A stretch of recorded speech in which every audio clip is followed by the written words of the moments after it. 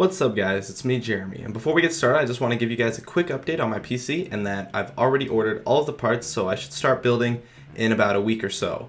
And let's jump right into this video. Today I want to talk to you guys about ulting right away, or as I call it, fast ulting.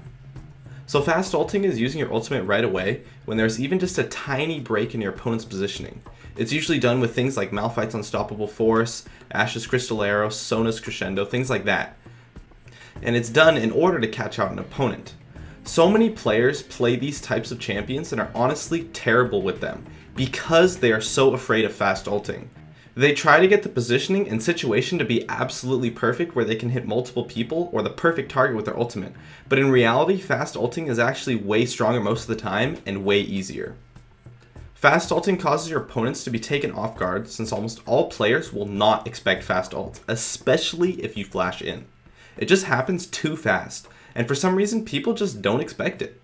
Okay, so when you fast ult, you want to get it on a squishy target, but that's really all you need. It can be anyone on the opposing team, even the support. The goal with fast ulting is to catch out an opponent and burst them down instantly, and this has to be done without any hesitation whatsoever. Once the opportunity is there, you just have to go for it. The worst case scenario with fast ulting is you miss and you have to disengage, but that isn't even that bad. The best case scenario is you kill the target you hit and proceed to easily win the 4v5 teamfight, since your carries will be almost untouchable due to the positioning that the initiation of a fast ult creates. A proper fast ult just makes teamfights almost impossible to lose, but so many players play with hesitation and are just not willing to execute those kind of proactive moves, which can actually be phenomenal in helping you win. My name is Jeremy and that is it for my video on fast ulting. I'd love if you could support me with a like or join me on my North American chat room Gaming Curios, which I'm always in when I go online.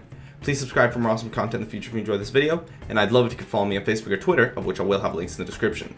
As always, thanks for watching, and I'll see you guys next time.